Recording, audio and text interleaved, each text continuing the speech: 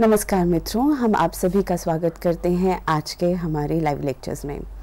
متروں آج ہمارے ساتھ ہمارے اس لائیو لیکچر کے لیے جو سبجیکٹ ایکسپرٹ جڑ چکے ہیں، وہ ہیں ڈاکٹر نوشاد عالم۔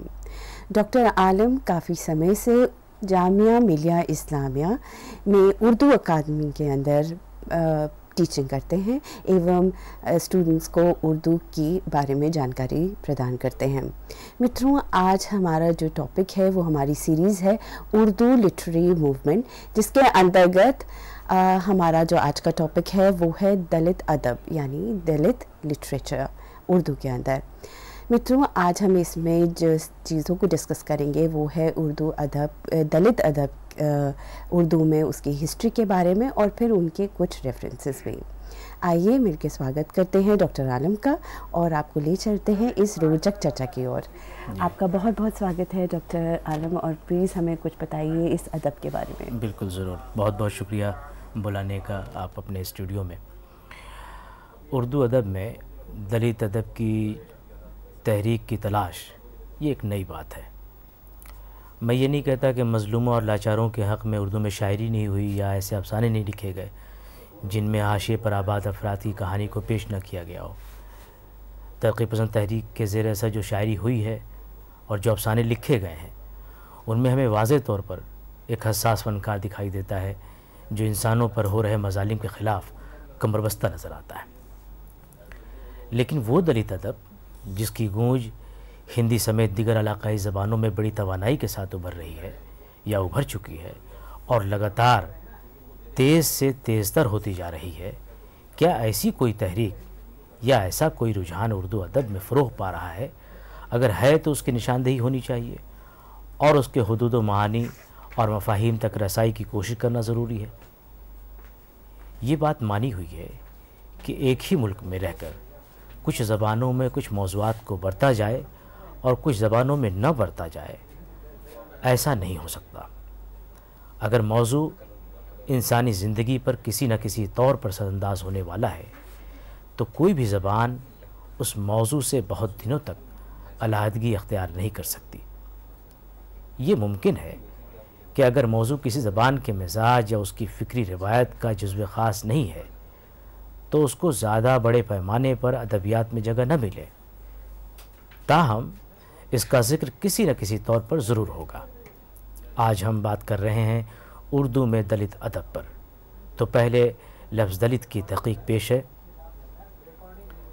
یہ جو دلت کا لفظ ہے، عصر حاضر کی سیاسی ہے، سماجی و تہذیبی ڈسکورس کا ایک بہت اہم موضوع ہے۔ ادب میں بھی اس لفظ کا استعمال آج کثرت سے ہو رہا ہے۔ بلکہ اس لفظ کے حوالے سے ایک پوری تحریک جاری ہے۔ دوسرے لفظوں میں، ادبی ڈسکورس کی سطح پر اس لفظ کے توسط سے ایک پورا کہنا چاہیے کہ تخلیقی و تنقیدی ادب کا باب کھل گیا ہے، جسے دلت ادب کی تحریک سے بھی موسوم کیا جاتا ہے۔ انگریزی میں لفظ دلت کے لیے عموماً کچھ الفاظ استعمال ہوتے ہیں، جیسے out cost, exterior cost depress cost یا ڈس ایڈوانٹیج کاسٹ وغیرہ، یہ کچھ الفاظ ہیں جن سے ہم دلت لفظ کو تعبیر کرتے ہیں، اس کے لیے ہم انگریزی میں اس طرح کے الفاظ استعمال کرتے ہیں۔ ہندی اور اردو میں لغوی اعتبار سے دلت لفظ کے معنی پامال شدہ، تاراج، کچلا ہوا، دلا ہوا، دبایا ہوا، روندا ہوا، اس طرح کے معنی آپ کو مل جائیں گے۔ لیکن اصطلاحی طور پر یہ لفظ اس لفظ کے زمرے میں سماجی اعتبار سے وہ طبقات آتے ہیں جنہیں ہزارہ سال سے ہمارے معاشرے میں آؤٹ کاسٹ کی طرح ٹریٹ کیا جاتا رہا ہے۔ ساتھ ہی جو پامال شدہ، تاراج اور دبے کچلے طبقے کی شکل میں اپنی الگ شناخت کے لیے مجبور ہے۔ آپ دیکھیے کہ ان طبقات کی جو شناخت قائم ہو چکی ہے، اس کا عالم یہ ہے کہ ہندوستانی سماج کے ذات پات والے سخت گیر نظام میں یہ طبقے نہ تو اپنی شناخت بدل سکتے ہیں اور نہ ہی اپنی سماجی درجہ بندی میں کسی تبدیلی کا تصور کر سکتے ہیں۔ وہ لازمی طور پر آئینی اعتبار سے بھی اپنی اسی شناخت کو قائم کرنے پر مجبور ہیں، کیونکہ آئین کی دفعہ اکتالیس کی روح سے ان طبقات کو حاصل ایس سی ایس ٹی کا درجہ اور اس کے تحت حاصل جو کنسٹیٹیوشنل کہنا چاہیے، مراد ہیں، جو فائدے ہیں اسی صورتحال میں بحال رہ سکتی ہیں۔ جب وہ ہندوستانی، جب وہ ہندو معاشرتی نظام کے جو متعینہ درجے ہیں، جو کلاس ہے، اس میں شامل رہیں۔ تاریخی لحاظ سے لفظ دلت کو سب سے پہلے مہاتما جیوتیبا پھولے نے برتا ہے اور انہوں، ان کا جو تعلق تھا وہ مہاراشٹر سے تھا اور وہ ذات کے مالی تھے، جسے ہندو مذہب کے ذات پات پر مبنی نظام میں اچھوت گردانا جاتا ہے انٹچبل گردانا جاتا ہے مہاتما جیوتیبا پھولے نے اعلیٰ جاتیوں کی طرف سے جو اچھوتوں کے ساتھ غیر انسانی سلوک ہو رہا تھا سماجی نابرابری تھی اور ان کے استحصال کے خلاف پہلی دفعہ بہت ہی آرگنائزڈ اور بہت پرزور آواز میں ان کے خلاف صدا احتجاج بلند کی تھی ان طبقات کو متحد متحد کر کے جو ان کے کہنا چاہیے کہ ڈیموکریٹک رائٹس تھے جو ان کے انسانی حقوق تھے، ان کے لیے انہوں نے اسٹرگل کی، اس کی ابتدا کی، اور انہوں نے جدوجہد کے دوران ان پسمادہ مظلوم اور اچھوت برادریوں کے لیے اس لفظ کا استعمال کیا۔ بعد میں جیوتیبا پھولے کی تحریک کو پروان چڑھانے والی عظیم شخصیت ڈاکٹر بھیم راؤ امبیڈکر کی تھی۔ ڈاکٹر بھیم راؤ امبیڈکر ہمارے آئین کے معمار بھی تھے۔ انہوں نے اعلیٰ ذات کے ذریعے اچھوت قرار دی گئی برادریوں کے لیے لفظ دلت کے استعمال پر ہی زور دیا۔ ان کی نظر میں وہ سماجی طبقات اور برادریاں ہی دلت ہیں جو اعلیٰ ہندو جاتیوں کے ذریعے اچھوت تصور کی جاتی رہی ہیں۔ ڈاکٹر امبیڈکر کے مطابق، دلت نہ تو ہندو مذہب یا سماج کا حصہ ہے اور نہ ہی وہ مسلمان ہے۔ بلکہ وہ ایک ایسی جماعت یا برادریاں ہیں جنہیں ہندو مذہب اور سماج کے اعلیٰ جاتیوں نے ہزاروں برسوں سے صرف ایکسپلائٹیشن کا شکار بنایا ہے، بلکہ انہیں غیر انسانی مخلوق کے طور پر دیکھا اور ان کے ساتھ ناروا سلوک کیا ہے۔ دلت پینتھر تنظیم کا نام آپ نے سنا ہوگا۔ اس نے اپنے منشور میں اس لفظ کی وضاحت کی۔ لکھا کہ شیڈول کاسٹ بودھ محنت کش، مزدور، بے زمین کسان، کھیت مزدور، غریب، کسان، جماعت کے لوگ اور آدیواسی سبھی دلت ہیں۔ اسی منشور میں آگے جا کر کے دلتوں کے دوست اور دشمنوں کی پہچان بھی بتائی گئی۔ اس میں یہ بتایا گیا کہ ذات پاس کے نظام کی مخالفت کرنے والی انقلابی سیاسی جماعتیں استحصال کو ختم کر کے سماجوادی رچنا قائم کرنے کے لیے جدوجہد کرنے والے بائیں بازو کی جماعتیں، یہ سب ہمارے دوست ہیں۔ اور وہ سب لوگ بھی ہمارے دوست ہیں جو اقتصادی اور سیاسی مطلق العنانی کے شکار ہیں۔ ذات، ملکیت اور اقتدار کے حامی زمیندار اجارہ دار بڑے سرمایہ دار، سامراجواد کے دلال، سامراجواد کے دلال دلال اور نوکر شاہی کے حامی، یہ سب ہمارے دشمن ہیں۔ اب یہ جتنی بھی تعریفات میں نے آپ کے سامنے پیش کی یہ اتنی بھی دلت لفظ کے حوالے سے جو تحقیق آپ کے سامنے رکھی، ان سے یہ واضح ہوتا ہے کہ دلت ادیبوں کا سماجی اور سیاسی تناظر صرف ذات پات کے مسئلے تک محدود نہیں ہے۔ دلت ادب کی تحریک میں وہ گروہ دو گروہ ہیں۔ ایک تو امبیڈکر وادی ہے اور دوسرا جو گروہ ہے وہ مارکس وادی ہے۔ ان میں آپ دیکھیں گے بہت اندر جائیں گے ڈیپ میں تو کئی مسائل پر کشاکش پائی جاتی ہے۔ لیکن یہ اختلافات فروئی ہیں۔ دلت ادیبوں کو مارکسی ادیبوں اور مفکروں سے یہ ایک اہم شکایت ہے کہ وہ ذات پات کے معاملات میں انہی روایتی تعصبات کا شکار نظر آتے ہیں۔ ڈاکٹر امبیڈکر خود بھی سماجواد کے حق میں تھے اور تمام مذہبی آڈمبروں کے خلاف کھڑے تھے۔ بدھ مذہب پر اپنی تحریروں میں انہوں نے ان باتوں پر زور دیا ہے اور ایک ایسا معاشرہ قائم کرنے کے حق میں ہے جو معاشی لوٹ کھسوٹ، ذات پات اور چھوت چھات کی لانتوں سے پاک ہو۔ بہرحال، امبیڈکر واد دلت اور مارکسواد دلت مل جل کر اپنی تحریک کو وسیع بنیادوں پر چلا رہے ہیں۔ اگر مارکسواد نے کہ ایک گروہ نے زندگی اور صحت مند سماج کا شعور بخشا ہے، تو دوسرے گروہ نے زندگی کے تلخ تجربات سے اور اس کی چکی میں پس کر یہ صحت مند شعور حاصل کیا ہے۔ دلت ادب اور دلت ادب کی تحریک ڈاکٹر امبیڈکر کے افکار کو اپنا بنیادی سرچشمہ تسلیم کرتی ہے۔ ڈاکٹر امبیڈکر کی فکر کا مرکز انسان تھا، اس لیے اس کے حدود کے دائرے میں پوری انسانیت سمٹ آتی ہے۔ فلسفی اور مفکر تلسی رام کے مطابق آج کی تاریخ میں ڈاکٹر امبیڈکر کی ہمگیریت ہی دلت ادب کی مرکزی دھارا ہے۔ شرن کمار لمبالے کے مطابق دلت ادب اپنا مرکزی نقطہ انسان قرار دیتا ہے۔ بابا صاحب کے افکار سے دلت کو اپنی غلامی کا احساس ہوا، ان کے کرب کو آواز ملی، کیونکہ اس زمینی سماج کو بابا صاحب کے روپ میں اپنا ہیرو ملا۔ دلتوں کا وہ کرب ہی دلت ادب کا مولد ہے۔ دلت ادب کا کرب میں کا کرب نہیں، وہ ذات باہر کیے گئے سماج کا کرب ہے۔ دلت ادیبوں نے آپ دیکھیں کہ ہندو سماج اور ہندو کلچر جس کی بنیاد منسمرتی اور ذات پات پر ہے، اس کی مکمل نفی کی ہے۔ اور ان قدروں کو نکارا ہے جو عدم مساوات کے تصور کو مضبوط کرتی ہیں۔ دیا پوار مشہور دلت شاعر اور لیکھک ہے، وہ ایک جگہ لکھتا ہے، اس دوران دلت ادب نے متھ یعنی دیو مالائی افسانوں کے سوال کو بھی اٹھایا، اب تک ہندو دھرم نے رام، سیتا، کرشن، کنس دریودھن وغیرہ کو ہی اوتار اور دیوتاؤں کا روپ دیا تھا اور مراٹھی ادب میں ان دیوتاؤں کو اسی روپ میں عزت بخشی گئی تھی۔ مراٹھی میں ہیروئن کو بھی سیتا یا رادھا کے کردار کو بنیاد بنا کر پیش کیا جاتا رہا ہے۔ ہیرو کو بھی اسی روشنی میں پیش کیا گیا۔ یہی نہیں، بلکہ مارکسوادی لیکھکوں نے بھی جہاں کہیں انقلاب کا ذکر کیا ہے یا انقلابی سیاق و سباق میں تشبیہوں کا استعمال کیا ہے۔ وہ شنکر کے تانڈو روپ یا سدرشن چکر کو ہی زیادہ پیش کرتے ہیں۔ لیکن اس کے برخلاف دلت ادب میں ایسے مذہبی تقدس کی طرف اشارہ یا ایسے کرداروں کا استعمال بالکل الگ معنی میں ملتا ہے۔ ان کے ہاں آج کے سائنسی دور کی نئی قدروں اور نئی متس کے باغی ہیروئنوں کو زیادہ عزت عزت کی نگاہ سے دیکھا جاتا ہے۔ بابو راؤ باگل کی کہانی سوڈ یعنی بدلہ، کی ہیروئن کی سلسلے مثال دی جا سکتی ہے۔ مذہب کے روایتی کرداروں کو دلت ادب میں بالکل الگ طریقے سے استعمال کیا گیا ہے۔ اس ادب میں روایتی کرداروں سے متعلق اٹھایا گیا یہ سوال نہایت اہم ہے۔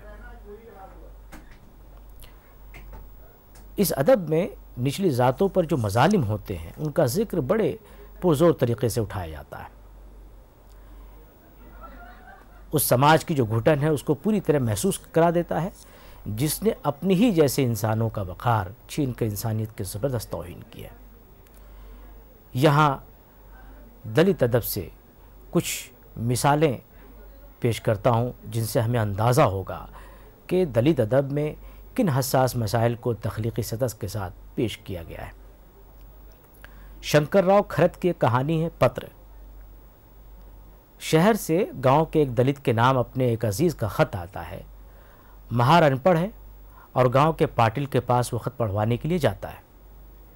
پاٹل جس کا تعلق اونچی ذات سے ہے، اونچی برادری سے ہے، اس مہار کو دن بھر دو تین گاڑیاں بھر کر لکڑیاں چیرنے پر مجبور کرتا ہے اور شام کو دو لائن کا خط پڑھتا ہے، جس میں اس دلت کی بہن کی مرنے کی خبر ہے۔ دوسری مثال لیجیے۔ دیا پروار کی ایک نظم ہے کھنڈر ایک ترقی پسند شہر کھنڈر میں تبدیل ہو چکا ہے۔ ایک عرصے بعد آثار قدیمہ کے لوگ اسے کھودتے ہیں اور شاعر جو صنعتی شہر کی تعریف سن چکا تھا، اسے دیکھنے جاتا ہے۔ شاعر کو وہاں چمنیاں دکھتی ہیں، مشینوں کے پرزے نظر آتے ہیں۔ تو اسے معلوم ہوتا ہے کہ یہ صنعتی شہر تھا، لیکن اسے اس وقت بہت تعجب ہوتا ہے جب انہی کھنڈروں میں ایک تختی ملتی ہے جس پر لکھا ہوا ہے، یہ پیاؤ سب دھرم اور ذات کے لوگوں کے لیے ہے۔ شاعر کو یہ پڑھ کر بہت تعجب ہوتا ہے کہ ایسے صنعتی دور میں بھی آدمی آدمی میں ایسا بھید بھاؤ پایا جاتا تھا۔ تو اچھا ہی ہوا کہ ایسا شہر زمین میں گڑ گیا، ایسی تہذیب اسی لائق تھی، اسی قابل تھی۔ یہ دو مثالیں ہوئیں، ایک تیسری مثال دیکھیے۔ یوگی راج واگھمرے کی کہانی ہے، ادریک یعنی کہ غصہ، وہ قابل ذکر ہے۔ کہانی کا ایک کردار ایک غریب دلت لڑکا اپنی قابلیت سے اسکالرشپ حاصل کرتا ہے۔ کالج میں تعلیم حاصل کرتا ہے۔ اس کا باپ گاؤں میں گھناؤنے قسم کا کام کرتا ہے۔ مطلب کہ مردہ جانوروں کی جو کھال ہے، وہ اتار کر اس کا گوشت بیچنا اور کھانا وغیرہ۔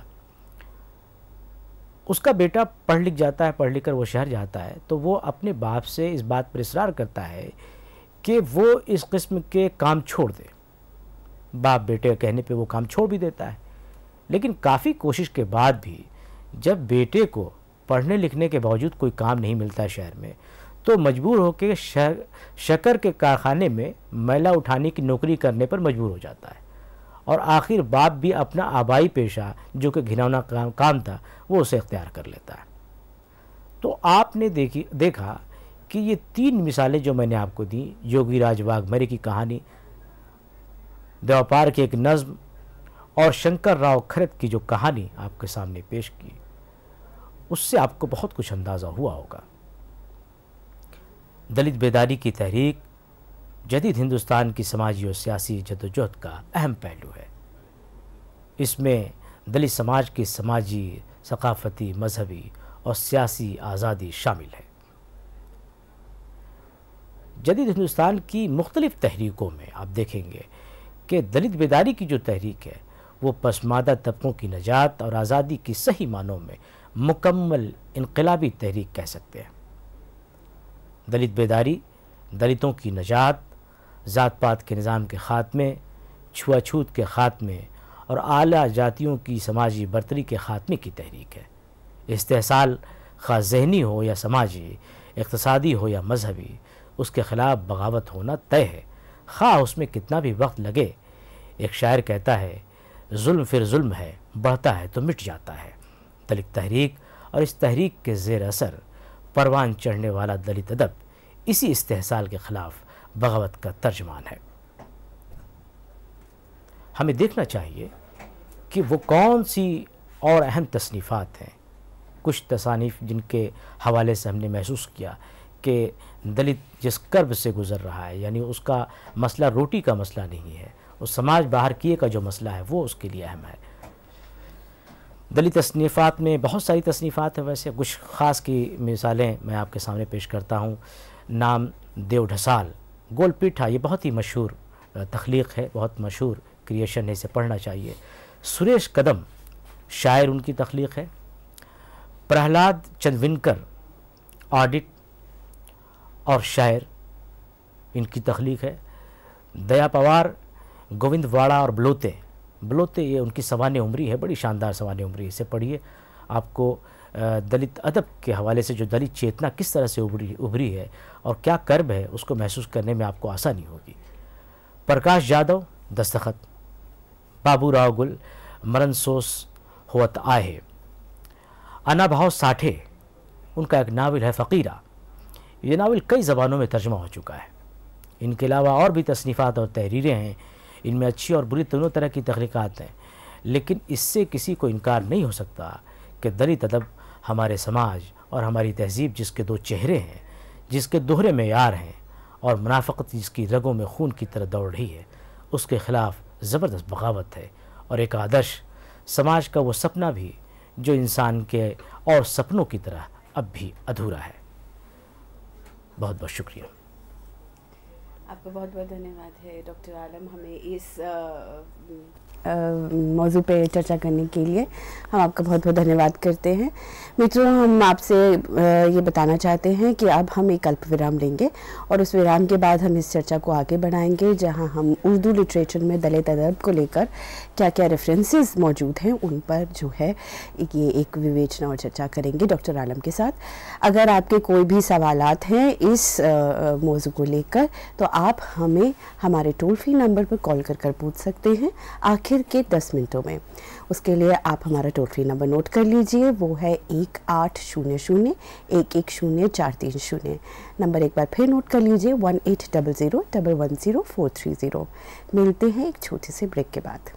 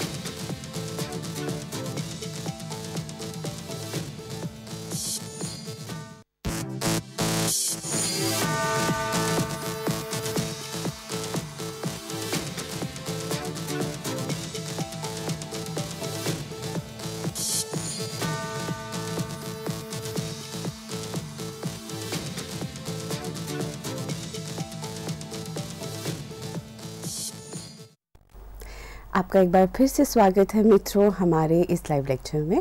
بریک پر جانے سے پہلے ہم دلت ادب کے بارے میں چرچا کر رہے تھے اور ہم نے آپ کو بتایا تھا کہ اگر آپ کے کوئی بھی سوالات ہیں اس موضوع پر، تو آپ ہمیں ہمارے ٹول فری نمبر پر کال کر کر پوچھ سکتے ہیں اور آپ کال آخر کے دس منٹوں میں کریے گا۔ اور اس کے لیے آپ ہمارے ٹول فری نمبر کو نوٹ کر لیجیے جو ہے one eight double zero double one zero four three zero متروں آئیے مل کر سواگت کرتے ہیں ڈاکٹر نوشاد عالم کا ایک بار پھر سے۔ آپ کا بہت بہت سواگت ہے ڈاکٹر جی، عالم۔ اور ہمیں اس چرچا پر ایک بار پھر سے لے کے چلیے۔ جی بہت بہت شکریہ۔ کچھ دیر پہلے ہم نے بات کی تھی دلت ادب کی ایک طرح سے روپ ریکھا پر اس کی تاریخ پر اور اس لفظ کے حوالے سے جو اس کے لغوی اور جو اصطلاحی معنی ہے اور اس کی جو پوری تاریخ ہے اور دلت ادیب کیا محسوس کرتے ہیں۔ کس طرح کی چیتنا کو وہ سماج میں لاگو کرنا چاہتے ہیں یا لانا چاہتے ہیں کہ سماج کے ہر فرد اس کرب کو محسوس کرے۔ تو یہ تو ایک بات ہو گئی۔ اب ہم دلت ادب کو اردو میں تلاشنے کی کوشش کریں گے۔ دیکھیے، یہ بات درست ہے کہ اردو میں دلت ادب ادب جو ہے، اس طرح تو بالکل نہیں ہے جس طرح کہ مراٹھی میں، ہندی میں، تمل میں، گجراتی میں، ملیالم میں اور تیلگو میں ملتا ہے۔ اس کی کئی وجوہات ہو سکتی ہیں۔ پہلی وجہ تو یہ ہے کہ اردو میں ہند ایرانی یا ہند اسلامی کلچر کا ہونا، جس میں آپ دیکھتے ہیں کہ انسانوں کے درمیان تفریق کی کوئی گنجائش نہیں ہے۔ یعنی جس کی روح سے انسانوں کے درمیان ان کی پیدائش اور ان کی ذات کی بنیاد پر کسی کو کوئی امتیاز حاصل نہیں ہے، یہ ایک بہت بڑی وجہ ہے۔ دوسری وجہ کیا ہے؟ کہ اردو ادب جو ہے، وہ بنیادی طور پر مدنی مرکزیت یعنی کہ جو اربن سینٹرک جو کلچر ہے، اس کلچر کی نمائندگی کرتا ہے۔ تو ایسے میں یعنی درباروں اور محلوں کی جو سرپرستی ہے، اشرافیہ فکری رویے کی جو کا اظہار ہے، اس میں اس سے اتنی فرصت نہیں تھی کہ اس کا ادب عوامی زندگی، بالخصوص ہندوستان کے دیہاتوں میں جو زندگی پنپ رہی تھی، جو زندگی یعنی ایک طرح سے کہنا چاہیے، کرب سے گزر رہی تھی، اس کا اٹوٹ حصہ بن جائے۔ تو یہ غالباً دو وجہ میری سمجھ میں آتی ہیں کہ اردو میں دلت ادب اس طرح سے پروان نہیں چڑھ سکا جس طرح سے علاقائی، دیگر علاقائی زبانوں میں پروان چڑھ سکا ہے۔ اس لیے یہ کہنے میں کوئی قباحت نہیں ہے کہ اردو میں دلت ادب کا وجود اس شکل میں ہرگز نہیں ہے۔ جس شکل میں دلت ڈسکورس یا دلت چیتنا جس طرح سے آج ہم بولتے ہیں اور اس سے جو سمجھتے ہیں، تو کم سے کم ہمارے کلاسیکی ادب یا انیسویں صدی تک کے ادبی سرمایہ میں ایسا کچھ ہمیں نہیں ملتا۔ اس کی دو وجہ میں نے آپ کے سامنے رکھی ہیں۔ بیسویں صدی میں آپ کے آ کر دیکھیں گے کہ اردو میں کافی کچھ تبدیلیاں ہوئی ہیں۔ سب سے پہلا نام جو اس تبدیلی کا ایک طرح سے مظہر بن کر کے آتا ہے، وہ پریم چند کا نام ہے۔ پریم چند کے بارے میں آپ جانتے ہیں کہ وہ اردو میں لکھتے تھے، بعد میں انہوں نے ہندی میں بھی لکھا۔ نواب رائے نام لیکن اردو میں انہوں نے پریم چند کہتے ہیں کہ ان کا جس طرح سے نام چل پڑا۔ اور ایک ایسا لیکھک ایک ایسا فکشن نگار جس نے ہندوستان کے دیہاتوں کو جس طرح سمجھائے، شہروں کی زندگی کو جس طرح سمجھائے، بہت کم لوگ ایسا سمجھ پاتے ہیں۔ انہوں نے اس کمی کی تلافی کی ہے۔ ان کے بعض افسانے آپ پڑھیں، ان کے ناول پڑھیں، دلتوں کے مسائل کی ترجمانی وہاں ملتی ہے۔ پھر ان کے بعد کی جو نسل ہے، جن کے افکار و تصورات پر پریم چند کے اثرات کسی نہ کسی طور پر موجود تھے۔ مثلا کرشچندر ہیں اس میں چغتائی ہیں، علی عباس حسینی ہیں، خواجہ احمد عباس ہیں، اعظم کریوی ہیں، احمد ندیم قاسمی ہیں، اختر ارینوی ہیں غیاس احمد گدی ہیں، جیلانی بانو ہیں، انور عظیم اور آبی سہیل وغیرہ وغیرہ کے بعض افسانوں میں آپ دیکھیں گے کہ دلت مسائل بھی ہیں اور اس احساس کی ترجمانی بھی اس انداز میں ملتی ہے کہ انہیں مکمل طور پر نہ صحیح، محدود معنوں میں ہی صحیح لیکن ان افسانوں کو دلت ادب کے زمرے میں ضرور شامل کیا جا سکتا ہے۔ پریم چند کے افسانوں میں ہمیں پہلی دفعہ دلت مسائل سے واقفیت ہوتی ہے، اس سے آشنائی ہوتی ہے۔ دیہی طرز معاشرت کی ترجمانی کے حوالے سے پریم چند کے بعض افسانے دلت مسائل کی ترجمانی کے بہترین نمونے ہیں۔ ایسے کچھ ان کے افسانے جن کو ہم سمجھتے ہیں کہ نمائندہ دلت افسانے کہے جا سکتے ہیں، ان میں ٹھاکر کا کنواں، مندر، نیک بختی، گھاس والی، سوا سیر گیہوں، نجات، دودھ کی قیمت اور کفن بہت اہم ہے پریم چند بنیادی طور پر ریفارمسٹ ہیں، اصلاح پسند نظریے کے حامل ہیں۔ ان کی فکر میں اگر آپ انقلاب کا عنصر تلاشیں گے تو آپ کو مایوسی ہوگی۔ تبدیلی قلب کو آدرش وادی ضابطے اور اصلاحی فکر کے ساتھ پریم چندر شعوری طور پر ملائے رکھنے میں مصروف نظر آتے ہیں۔ ان کی بیشتر کہانیاں آریہ سماج اور گاندھی وادی نقطہ نظر پر مبنی ہیں، جن میں اصلاحی پہلو حاوی رہتا ہے۔ ان کا بنیادی نظریہ کیا ہے؟ پریم چند کا۔ ان کی کہانیوں کے بارے میں سمجھنے سے پہلے ان کا، ان کے بنیادی نظریے کو سمجھنا ضروری ہے۔ یہ ہے کہ انسان فطری طور پر بے قصور ہے۔ غلط صحبت اور برے رجحانات کی وجہ سے اس سے گناہ سرزد ہو جاتے ہیں۔ اس لیے ان سے بچنا اور ان کی اصلاح بھی ممکن ہے۔ یہ ہے ان کی پوری فکر کا کہنا چاہیے زسٹ پریم چند کی جو خاص فکر ہے، جو نظریہ ہے، وہ یہ ہے کہ انسان فطری طور پر بے قصور ہے۔ اب آئیے ان کی کچھ کہانیاں ہیں۔ ان کہانیوں میں ہم دیکھتے ہیں کہ کس طرح سے دلت چیتنا یا دلت جو مسائل ہیں اور ان کے جو کہنا چاہیے جو ان کی جو، ان کا جو کرب ہے، وہ کس طرح سے جھلکتا ہے۔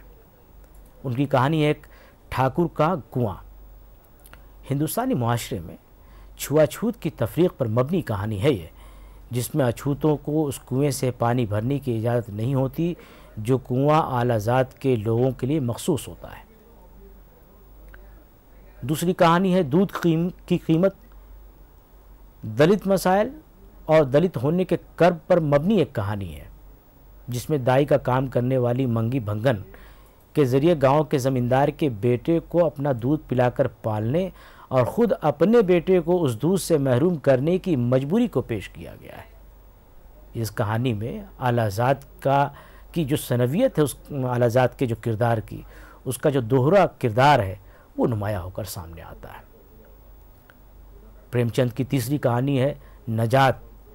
میں بھی دلتوں پر پنڈتوں اور ساہوکاروں کے ذریعے کیے جانے والے ظلم کی داستان بیان کی گئی ہے، جس میں دکھی چمار جب پنڈت کے ہاں اپنی بیٹی کی سگائی کے لیے مہرت نکلوانے کی بات کرنے جاتا ہے، تو پنڈت اسے اپنے بیگار کے کاموں میں اس طرح پھنسا دیتا ہے کہ وہ صبح سے شام تک پنڈت کا بیگار کام کرتے کرتے، کا بیگار کرتے کرتے موت کے گھاٹ اتر جاتا ہے۔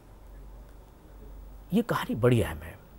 اس کہانی میں ایک طرف دلتوں کے ذریعے ہندو مذہب کے تئیں عقیدت کا اظہار ملتا ہے، وہیں دوسری جانب بدلے میں اعلیٰ ذات کی جانب سے ظالمان رویے کے اظہار کو نشانہ بنایا گیا ہے۔ تو پریم چند آپ دیکھیے کہ دونوں کو وہ نشانہ بناتے ہیں۔ لیکن آخر آخر میں جا کر کے وہ بہت ساری کہانیوں میں جس طرح سے ان کا ہوتا ہے کہ وہ یہ مانتے ہیں کہ انسان بے قصور ہوتا ہے اور غلط صحبت کی وجہ سے، کچھ غلط سنگت میں پڑھنے کی وجہ سے وہ غلط کام کر جاتا ہے۔ تو وہ یہ مانتے ہیں کہ ان گناہوں سے، ان خراب کاموں سے بچنے کی گنجائش ہمیشہ انسان کے اندر موجود ہوتی ہے۔ تو وہ جو لیے ہے، جو ایک دلت ادیب کے ہاں ملے گی آپ کو، وہ ذرا کمزور پڑتی ہوئی دکھائی دیتی ہے پریم چند کے ہاں۔ لیکن یہ بالکل صحیح بات ہے کہ وہ پہلے افسانہ نگار ہیں اردو کے۔ جو بہت سمجھ کر کے اس دیہی جو کہنا چاہیے، جو پرمپرا ہے، اس پرمپرا کے خلاف اور ایک آواز اٹھاتے ہیں اور انسان کو انسان سمجھتے ہیں۔ پریم چند کی کہانی مندر بھی اسی طرح کی تھیم پر مبنی ہے۔ اس میں اچھوتوں کو مندر میں داخل ہونے پر پابندی کے مسئلے کو پیش کیا گیا ہے۔ پریم چند کی جو آخری اور سب سے اہم کہانی ہے، وہ کفن ہے۔ دلت مسائل کو ایک نئے انداز میں پیش کرتی ہے۔ یہ نیا انداز کیا ہے؟ کرب تو ہم سبھی جانتے ہیں۔ نیا انداز یہ ہے کہ کفن کے کردار گھیسو اور مادھو چمار ہیں ذات کے اعتبار سے۔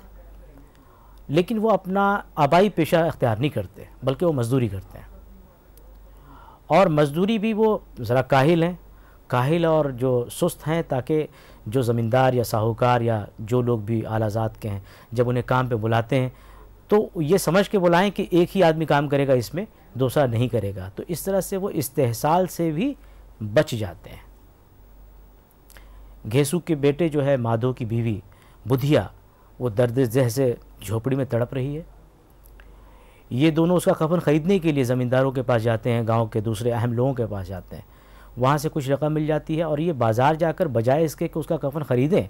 اس پیسے کی شراب پی جاتے ہیں اور نشے میں بدمست ہو کر وہیں گر جاتے ہیں۔ ان کا نکمہ پن اور کاہلی ان کی سوچی سمجھی حکمت عملی ہے۔ ایسا کرنے سے وہ دونوں زیادہ استحصال سے بھی بچ جاتے ہیں۔ پریم چند کے بعد آپ دیکھیں گے کہ اردو میں ترقی پسند تحریک کا غلبہ ہوا اور ایک بڑی کافی تعداد میں افسانہ نگار آئے جنہوں نے سماجی مسائل پر، معاملات پر، حیات و کائنات کے مسائل پر بھی لکھا اور جو آس پاس کی زندگی میں مسائل تھے ان پر بھی لکھا۔ لیکن ترقی پسند تحریک میں عام طور پر ایک عام رجحان یہ ہے کہ اس میں دلت مسائل کو اس طرح سے خصوصی توجہ نہیں دی گئی۔ کیوں؟ کیونکہ ترقی پسند جو تھنکرز تھے، مفکرین تھے ان کا یہ ایزمشن تھا، مفروضہ تھا کہ اقتصادی استحصال جیسے ہی ختم ہوگا تو باقی مسائل خود بخود حل ہو جائیں گے۔ خواہ وہ سماجی امتیاز کا مسئلہ ہو یا پھر جنسی امتیاز کا مسئلہ ہو۔ اسی لیے آپ دیکھیں گے کہ ترقی پسند تحریک کے زیر اثر دلت ادب اس طرح پروان نہیں چاہ سکا۔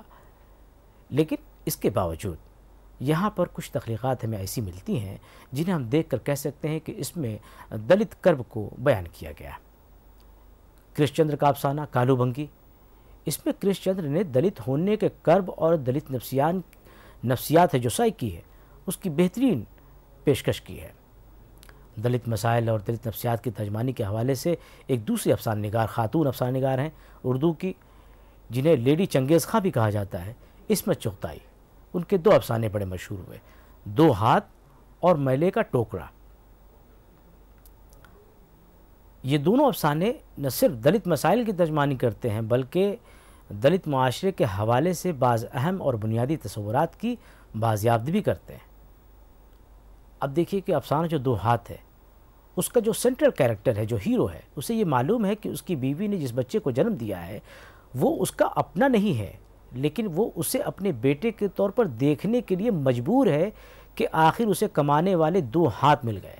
اب آپ دیکھیے کہ پیٹ کی جو آگ ہے، جو بھوک ہے، وہ کتنی شدید ہے یا کتنی شدت سے وہ حاوی ہے اس شخص پر کہ وہ یہ دیکھنے کے لیے بھی روادار نہیں ہے کہ وہ کس کا بچہ ہے، اس کا اپنا ہے یا نہیں ہے۔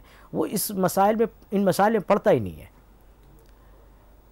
یہ ایک کرب ہے جس کو انہوں نے بیان کیا ہے اس دو ہاتھ والے افسانے میں۔ ایک دوسرا افسانہ ہے، میلے کا ٹوکرا۔ اس میں آپ دیکھیں کہ مظلوم دلت طبقے کی صرف رودات بیان نہیں کی گئی، بلکہ اس طبقے پر ہونے والے مظالم کے حوالے سے ملک کے نظام اور ہماری جو ڈیموکریٹک، ہمارا جو سیٹ اپ ہے، اس پر بھی ایک کہنا چاہیے کوشچن مارک ہے، ایک سوال یہ نشان ہے۔ اعظم کریوی کا افسانہ چھوت، علی عباس حسینی کا خوش قسمت لڑکا، قاسمی کا رئیس خانہ، اختر و رینوی کا تسکین حسرت وغیرہ بھی، یہ سارے افسانے بھی اردو افسانے میں دلت مسائل کی ترجمانی کے لحاظ سے قابل ذکر افسانے ہیں ترقی پسند تحریک سے ذرا کہنا چاہیے جونیئر جو نسل ہے، ان میں آپ دیکھیں کہ جوگندر پال ہیں، رام لال ہیں، قاضی عبدالستار ہیں غیاس الدین غیاس احمد گدی ہیں جیرانی بانو عابد سہیل، انور عظیم، یہ سارے افسانہ نگار، ان کے ہاں بھی ہمیں گاہے بگاہے ایسے افسانے دیکھنے کو مل جاتے ہیں جو جن میں دلت سماج کے بعض اہم مسائل کا اظہار بہت مؤثر انداز میں ملتا ہے۔ بہت مشہور افسانہ ہے جابر حسین کا چمرٹوں کی نیکی۔ اس کے مصنف جابر حسین ہیں۔ وہ اعلیٰ ذات کے ہندوؤں کی جانب سے دلتوں پر ڈھائے جانے والے مظالم کو جس کہنا چاہیے بے باکی سے، جس صفاقی سے پیش کرتے ہیں، اس میں افسانویت اور حقیقت کا فرق مٹ جاتا ہے۔ ایسا نہیں لگتا کہ وہ آپ افسانہ پڑھ رہے ہیں، ایسا لگتا ہے جیسے کوئی پکچر بالکل سامنے کوئی تصویر چل رہی ہے۔ بالکل آپ کے سامنے وہ ساری جو واقعات گھٹ رہے ہیں، وہ سارے واقعات ہو رہے ہیں۔ ایسا محسوس ہوتا ہے۔ چمرٹوں کی نیکی، یہ افسانہ اگر آپ کو کہیں مل سکے، جابر حسین اس کے مصنف ہیں، تو اسے ضرور پڑھیے۔ بیسویں صدی میں آپ ناول میں بھی آپ دیکھیں گے۔ یہ تو فکشن کی یہ افسانوں کی بات ہو گئی۔ پریم چند سے لے کر پریم چند کے بعد جو نسل آئی، اس نے بھی افسانے لکھے کرش چندر نے عصمت چوتائی نے۔ ان کے بعد ذرا جو جونیئر نسل تھی، اس نے بھی افسانے لکھے اور اس میں دلت مسائل کے کا جو پہلو تھا یعنی درد کا جو پہلو تھا، سماج باہر نکالے جانے کا جو تصور تھا، جو کرب تھا، اس کو پیش کیا ہے۔ ناول میں بھی آپ دیکھیں گے، ایک بڑا اہم ناول ہے۔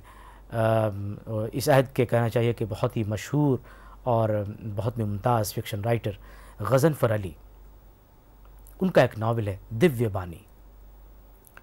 یہ ناول اردو میں دلت ادب کے حوالے سے ایک منفرد تخلیق کا درجہ رکھتا ہے، کیونکہ یہ ناول جو ہے صرف دلت مسئلے پر مرکوز نہیں ہے، بلکہ اس میں دلتوں کے استحصال کے مذہبی اور تاریخی تناظر کو اجاگر کرنے کی صحیح بھی ملتی ہے۔ یعنی اگر آپ کو کسی کسی کو غلام بنائیں گے ایسے، تو وہ ریولٹ کر دے گا، باغی ہو جائے گا۔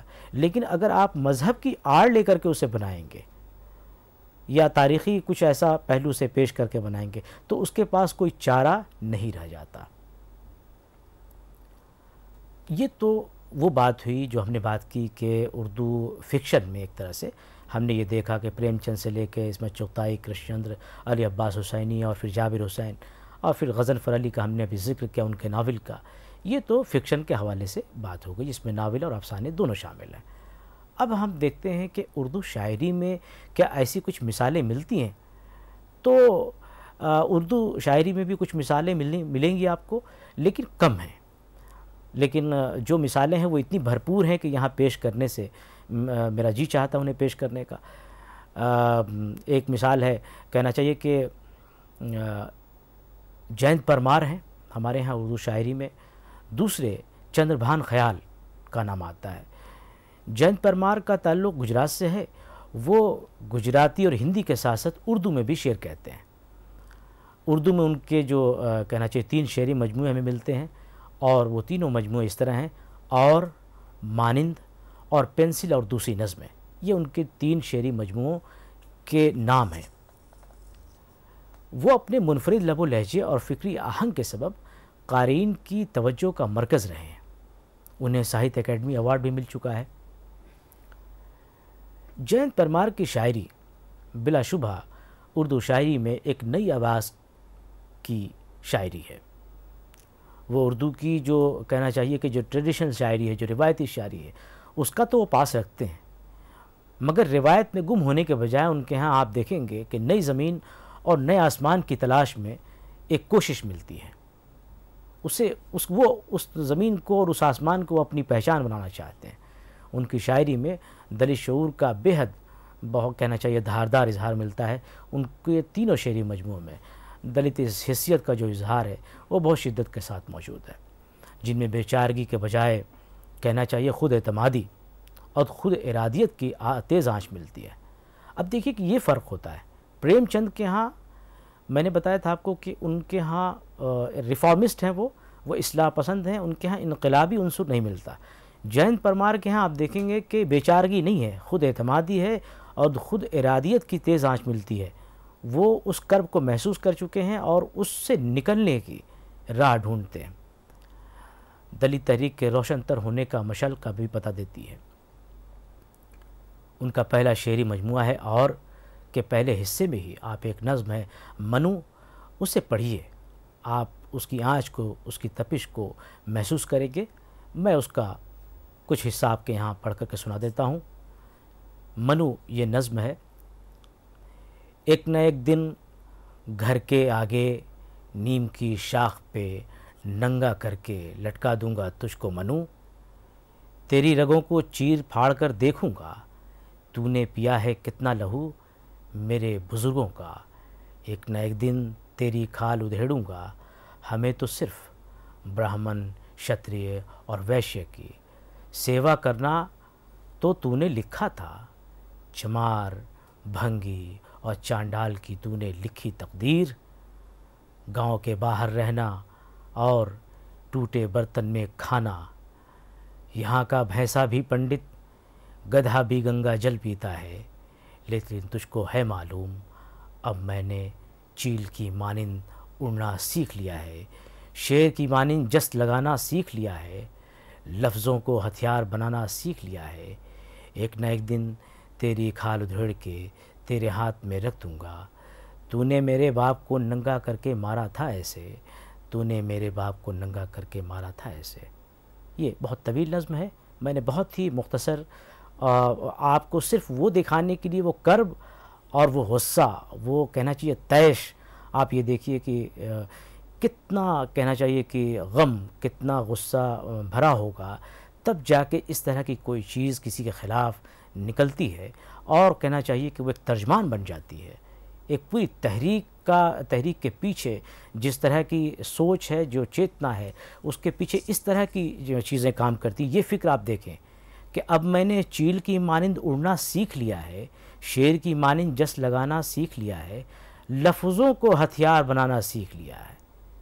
پوری نظم میں یہ جو حصہ ہے، آپ کو یہ بتاتا ہے کہ جینت پرمار صرف شاعری نہیں کر رہے ہیں، صرف صرف جو ہے دلت مسائل کو سامنے نہیں لا رہے ہیں، بلکہ اب وہ اس چیتنا کو گھر گھر کا، ہر فرد کی زندگی کا ایک ایسا، اس کی فکر کا ایسا حصہ بنا دینا چاہتے ہیں۔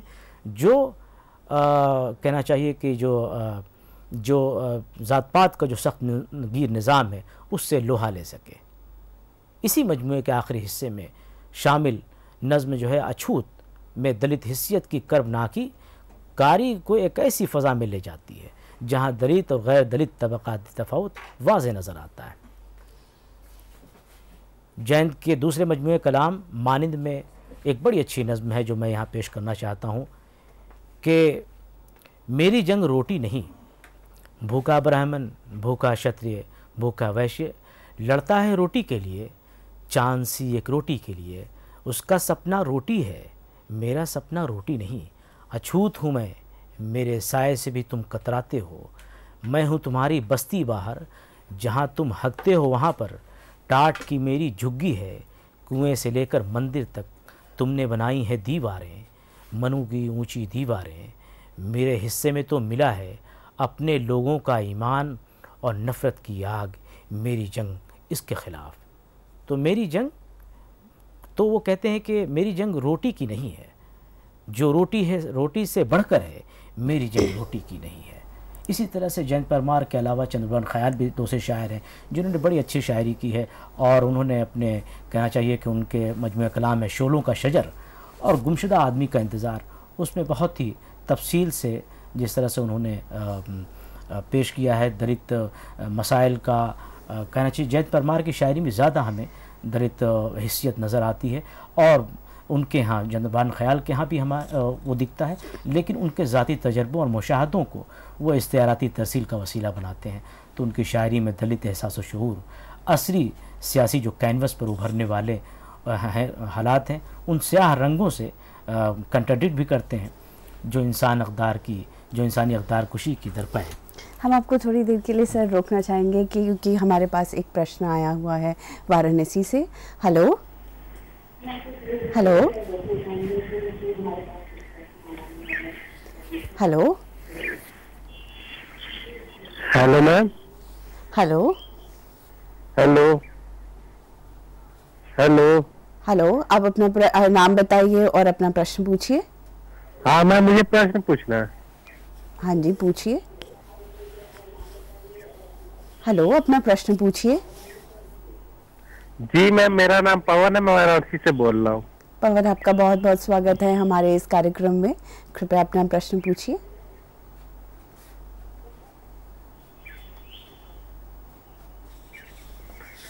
میم میں یہ پوچھنا چاہتا ہوں کہ اردو لٹریری موومنٹ کا سماجی کرتیوں کو کرب کرنے پر کیا پربھاؤ رہا؟ پرشن ایک بار پھر سے دہرائیں گے اردو لٹریری موومنٹ کا۔ پون آپ پرشن ایک بار پھر سے دہرائیں گے اپنا۔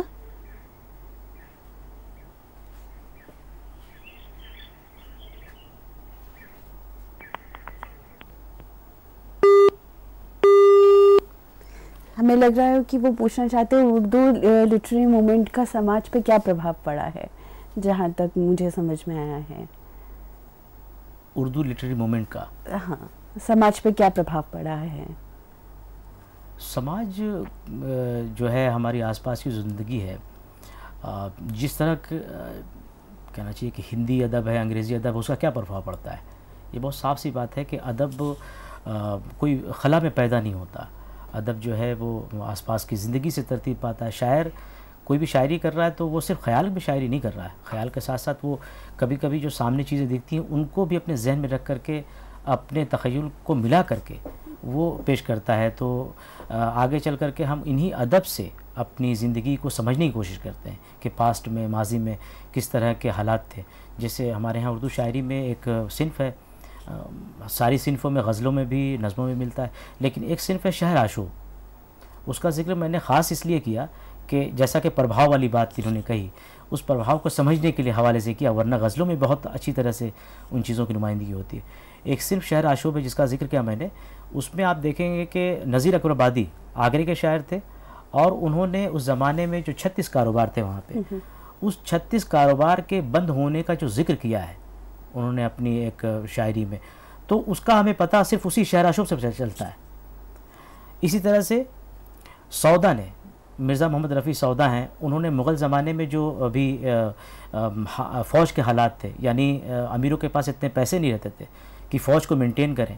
تو وہ کرتے ضرور تھے کہ نوکری کرتے تھے، لیکن وہ ان کے ان کے، ان کو سیلی نہیں ملتی تھی۔ تو وہ جتنے بھی حالات ہیں یعنی اس پورے عسکری نظام کو سمجھنے کے لیے مغلیہ سلطنت کے ان چیزوں کو سمجھنے کے لیے ہمیں اس طرح کی ادبیات کا سہارا لینا پڑتا ہے۔ اس کے علاوہ ہم یہ ایک طرح سے یہ کہہ سکتے ہیں کہ لوگوں میں جاگرکتا آ جاتی ہے پڑھنے کے بعد اور وہ ان کو احساس ہوتا ہے کہ زیادہ بہتر سمجھ پاتے ہیں ہم ہاں۔ کہ آج جو بھی حالات چل رہے ہیں شاید آج کا شاعر یا آج کا افسانہ نویس جو بھی لکھتا ہے اس کو زیادہ بہتر طریقے سے ہمارے دس سال کے بعد یا بیس سال کے بعد جو ریڈرز آئیں گے ان کو سمجھ سکتے ہیں۔ کیونکہ جی۔ جس عہد میں آپ جیتے ہیں نا اس کو آپ صحیح سے ایویڈویٹ نہیں کر پاتے۔ جب اس پہ بیس سال پچاس سال گزر جاتے ہیں تب آپ سمجھ میں آتا ہے کہ کہاں آپ نے غلطی کی تھی کہاں آپ سے چوک ہوئی تھی اور کہاں آپ اچھے تھے صحیح تھے۔ جی۔ تو اس کا احساس اس کا جو جائزہ ہے یہ بعد میں ہی پتہ چلتا ہے۔ تو ابھی جو پربھاؤ کی بات ہے ترقی پسند تحریک کا ہم نے پربھاؤ دیکھ لیا کہ اس نے جو محنت کش طبقہ تھا جو مزدور طبقہ تھا اس کی آواز میں آواز ملائی۔ احسان دانش بہت بڑے شاعر ہیں مزدوروں کے شاعر کے نام سے جانے جاتے ہیں۔ مزدوروں کی آواز میں آواز ملائی ایک کہنا چاہیے انگریزوں کے خلاف ایک محاذ قائم کرنے میں۔ ترقی پسند تحریک کا رول ہے سبھی زبانوں میں تھا اردو میں بھی تھا۔ اسی طرح سے ہندی میں بھی جو کہنا چاہیے کہ ماڈرنزم ہے اردو میں بھی۔ تو شاعر یا ادیب یا کہنا چاہیے وہ مریخ پہ وہ نہیں ہے وہ اسی دنیا میں رہ رہا ہے اسی آس پاس سے رہ رہا ہے۔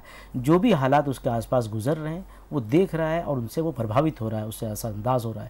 اور ان کو اپنی جو اس کا ایک مادھیم ہے وہ لفظوں کے مادھیم سے بات کرتا ہے۔ تو وہ ادب تخلیق کرتا ہے وہ شاعری لکھتا ہے وہ افسانے لکھتا ہے۔ تو ان میں ان کو ہمیں تلاش کرنے کی ضرورت ہے اور زیادہ بہتر ہم تب تلاش سکتے ہیں جب اس پہ ایک زمانہ گزر جاتا ہے، ایک وقت گزر جاتا ہے۔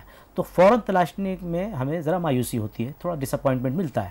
لیکن اگر اس پہ بیس سال گزر جاتے ہیں واقعے پہ، آج ہم دیکھیے کہ کتنے بہت اچھے طریقے سے ہم آزادی کے کے سانحے کو تقسیم ہند ہوا، اس کے بعد جو بھی فسادات ہوئے، جو جو بھی ہوا، اس کو ہم آج بہتر طریقے سے سمجھ پاتے ہیں۔ ہم آج روتے ہیں، ہم ماتم کرتے ہیں کہ یہ نہیں ہونا چاہیے تھا، یہ بٹوارہ نہیں ہونا چاہیے تھا۔ کیوں؟ کہ ہم اس فیز سے گزر چکے ہیں۔ جب تک وہ فیز اوور نہیں ہوگا تب تک آپ ان چیزوں کو نہیں سمجھ سکتے۔ ابھی جس زور سے آپ گزر رہے ہیں ابھی کہنا چاہیے کہ ہنگامہ ہے۔ یہ جب گزر جائے گا دو چار سال گزر جائے گا تب آپ کو پتہ لگے گا کہ کہاں کہاں خامیاں تھیں کیسے کیسے آپ کو گمراہ کیا گیا کیسے کیسے آپ کو بھٹکایا گیا۔ تو یہ ادب کا معاملہ یہی ہوتا ہے کہ فوراً اس کا اثر ہوتا ہے لیکن وہ دور رس نظر کے لیے ہوتا ہے۔ جو باریک بھی نظر ہوتی ہے جن کی وہ سمجھ پاتے ہیں کہ ہاں یہ دیکھو یہ تبدیلی آ رہی ہے۔ لیکن ایک عام آدمی ایک لے مین اس کو تب سمجھ پاتا ہے جب وہ ایک فیز اوور ہو جاتا ہے۔ ہم امید کرتے ہیں پون آپ کے سوال کا آپ کو جواب مل گیا ہوگا اور ہمارے اسٹوڈیو میں کال کرنے کا آپ کا بہت بہت دھنیہ واد ہے۔ ڈاکٹر عالم آپ کا بھی بہت بہت دھنیہ واد ہے ہمیں اس موضوع پہ ہمارے ساتھ گفتگو کرنے کے لیے اور ہمارے ویورز کو اتنا کچھ روچک جانکاری پردان کرنے کے لیے۔ متروں ہم آپ کو بتانا چاہتے ہیں، اگر آپ کے کوئی بھی پرشن ہیں اس سیشن سے جڑے یا آپ کے سجھاؤ ہیں، تو آپ ہمیں ہمارے میل آئی ڈی پر لکھ کر بھیج سکتے ہیں۔ اس کے لیے آپ ہمارا میل آئی ڈی نوٹ کر لیجیے، جو کہ ہے info dot C E C at N I C dot in ہم سے جڑنے کے لیے آپ کا بہت بہت دھنیہ واد اور ہم پھر سے آپ سے ملیں گے ڈاکٹر نوشاد عالم کے ساتھ۔ ایک بار پھر اردو لٹریری موومنٹ کے ایک اور نئے موضوع کے ساتھ۔ آپ کا بہت بہت دھنیہ واد ڈاکٹر بہت بہت شکریہ۔